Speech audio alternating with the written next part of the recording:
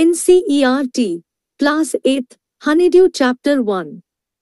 The best Christmas present in the world. Introduction There are some dates or periods of time in the history of the world that are so significant that everyone knows and remembers them. The story you will read mentions one such date, an event, a war between the British and the Germans in 1914. Can you guess which war it was? I, I spotted it in a junk shop in Bridport, a roll-top desk. The man said it was early 19th century, an oak. I had wanted one, but they were far too expensive. This one was in a bad condition, the roll-top in several pieces, one leg clumsily mended, scorch marks all down one side. It was going for very little money. I thought I could restore it. It would be a risk, a challenge, but I had to have it. I paid the man and brought it back to my workroom at the back of the garage. I began work on it on Christmas Eve. I removed the roll top completely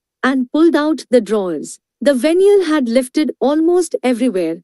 It looked like water damage to me. Both fire and water had clearly taken their toll on this desk. The last drawer was stuck fast. I tried all I could to ease it out gently. In the end I used brute force.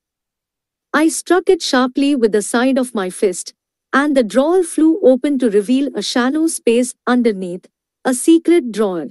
There was something in there. I reached in and took out a small, black tin box. Sellotaped to the top of it was a piece of lined, not paper, and written on it in shaky handwriting, Jim's last letter, received 25th January 1915. To be buried with me when the time comes.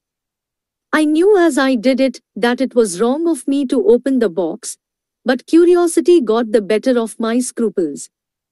It usually does. Inside the box there was an envelope. The address read, Mrs. Jim Macpherson, 12 Copper Beeches, Bridport, Dorset. I took out the letter and unfolded it. It was written in pencil and dated at the top, 26th December 1914. To dearest Connie, I write to you in a much happier frame of mind because something wonderful has just happened that I must tell you about at once. We were all standing to in our trenches yesterday morning, Christmas morning. It was crisp and quite all about, as beautiful a morning as I have ever seen, as cold and frosty as a Christmas morning should be. I should like to be able to tell you that we began it. But the truth, I'm ashamed to say, is that Fritz began it. First, someone saw a white flag waving from the trenches opposite. Then they were calling out to us from across no man's land, Happy Christmas, Tommy. Happy Christmas. When we had got over the surprise, some of us shouted back, Same to you, Fritz. Same to you. I thought that would be that. We all did. But then suddenly one of them was up there in his grey greatcoat and waving a white flag. Don't shoot, lads, someone shouted. And no one did. Then there was another Fritz up on the parapet, and another. Keep your heads down, I told the men, it's a trick. But it wasn't. One of the Germans was waving a bottle above his head. It is Christmas Day, Tommy. We have schnapps. We have sausage. We meet you. Yes. By this time, there were dozens of them walking towards us across no man's land, and not a rifle between them. Little Private Morris was the first up. Come on, boys. What are we waiting for? And then there was no stopping them. I was the officer. I should have stopped them there and then, I suppose, but the truth is that it never even occurred to me I should. All along their line and ours I could see men walking slowly towards one another, grey coats, khaki coats meeting in the middle. And I was one of them. I was part of this. In the middle of the war, we were making peace. You cannot imagine, dearest Connie, my feelings as I looked into the eyes of the Fritz officer, who approached me, hand outstretched. Hans Wolf, he said, gripping my hand warmly and holding it. I am from Dusseldorf. I play the cello in the orchestra. Happy Christmas. Captain Jim Macpherson, I replied. And a happy Christmas to you too. I'm a school teacher from Dorset, in the west of England. Ah, Dorset, he smiled. I know this place. I know it very well. We shared my rum ration and his excellent sausage. And we talked, Connie, how we talked. He spoke almost perfect English. But it turned out that he had never set foot in Dorset, never even been to England. He had learned all he knew of England from school and from reading books in English. His favorite writer was Thomas Hardy, his favorite book Far from the Madding Crowd. So out there in no man's land we talked of Bathsheba, and Gabriel Oak and Sergeant Troy and Dorset. He had a wife and one son, born just six months ago. As I looked about me there were huddles of khaki and grey everywhere, all over no man's land, smoking, laughing, talking, drinking, eating. Hans Wolf and I shared what was left of your wonderful Christmas cake, Connie. He thought the marzipan was the best he had ever tasted. I agreed. We agreed about everything, and he was my enemy. There never was a Christmas party like it, Connie. Then someone, I don't know who, brought out a football. Greatcoats were dumped in piles to make goalposts, and the next thing we knew it was Tommy against Fritz out in the middle of no man's land. Hans Wolf and I looked on and cheered, clapping our hands and stamping our feet, to keep out the cold as much as anything. There was a moment when I noticed our breaths mingling in the air between us. He saw it too and smiled. Jim Macpherson, he said after a while, I think this is how we should resolve this war. A football match. No one dies in a football match. No children are orphaned. No wives become widows. I'd prefer cricket, I told him. Then we Tommies could be sure of winning, probably. We laughed at that, and together we watched the game. Sad to say, Connie, Fritz won, two goals to one. But as Hans Wolf generously said, our goal was wider than theirs, so it wasn't quite fair. The time came, and all too soon, when the game was finished, the schnapps and the rum and the sausage had long since run out, and we knew it was all over. I wished Hans well and told him I hoped he would see his family again soon, that the fighting would end and we could all go home. I think that is what every soldier wants, on both sides, Hans Wolf said. Take care, Jim Macpherson. I shall never forget this moment, nor you. He saluted and walked away from me slowly, unwillingly, I felt. He turned to wave just once, and then became one of the hundreds of grey-coated men drifting back towards their trenches. That night, back in our dugouts, we heard them singing a carol, and singing it quite beautifully. It was Stille Nacht, silent night.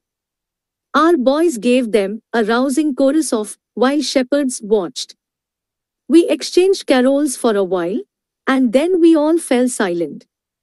We had had our time of peace and goodwill, a time I will treasure as long as I live. Dearest Connie, by Christmas time next year, this war will be nothing but a distant and terrible memory. I know from all that happened today how much both armies long for peace. We shall be together again soon, I'm sure of it. Your loving, Jim. 3. I folded the letter again and slipped it carefully back into its envelope. I kept awake all night. By morning I knew what I had to do. I drove into Bridport, just a few miles away. I asked a boy walking his dog where Copper Beeches was. House number 12 turned out to be nothing but a burned out shell, the roof gaping, the windows boarded up. I knocked at the house next door and asked if anyone knew the whereabouts of a Mrs. Macpherson. Oh, yes, said the old man in his slippers, he knew her well. A lovely old lady, he told me, a bit muddle headed, but at her age she was entitled to be, wasn't she? A hundred and one years old. She had been in the house when it caught fire. No one really knew how the fire had started, but it could well have been candles. She used candles rather than electricity, because she always thought electricity was too expensive. The firemen had got her out just in time. She was in a nursing home now, he told me, Burlington House, on the Dorchester Road, on the other side of town. I found Burlington House nursing home easily enough. There were paper chains up in the hallway, and a lighted Christmas tree stood in the corner, with a lopsided angel on top. I said I was a friend come to visit Mrs. Macpherson, to bring her a Christmas present. I could see through into the dining room, where everyone was wearing a paper hat and singing. The matron had a hat on too and seemed happy enough to see me. She even offered me a mince pie. She walked me along the corridor. Mrs. Macpherson is not in with the others, she told me. She's rather confused today so we thought it best if she had a good rest. She has no family you know, no one visits. So I'm sure she'll be only too pleased to see you. She took me into a conservatory with wicker chairs and potted plants all around and left me. The old lady was sitting in a wheelchair, her hands folded in her lap. She had silver white hair pinned into a wispy bun. She was gazing out at the garden. Hello, I said. She turned and looked up at me vacantly. Happy Christmas, Connie, I went on. I found this. I think it's yours. As I was speaking, her eyes never left my face. I opened the tin box and gave it to her. That was the moment her eyes lit up with recognition and her face became suffused with a sudden glow of happiness. I explained about the desk, about how I had found it, but I don't think she was listening. For a while she said nothing, but stroked the letter tenderly with her fingertips. Suddenly she reached out and took my hand. Her eyes were filled with tears. You told me you'd come home by Christmas, dearest, she said. And here you are, the best Christmas present in the world. Come closer, Jim dear, sit down. I sat down beside her, and she kissed my cheek. I read your letters so often, Jim, every day. I wanted to hear your voice in my head. It always made me feel you were with me. And now, you are. Now you're back, you can read it to me yourself. Would you do that for me, Jim dear? I just want to hear your voice again. I'd love that so much. And then perhaps we will have some tea. I have made you a nice Christmas cake, marzipan all around. I know how much you love marzipan. Michael Morpurgo Students are suggested to listen this chapter in different different playback speeds, and try to read it along with audio. Don't forget to like this video to encourage such more helping tools for the students. To listen all English books of NCERT, Class 1 to 12, in audio and text, subscribe our YouTube channel NCERT English Audio Books, and hit the bell icon.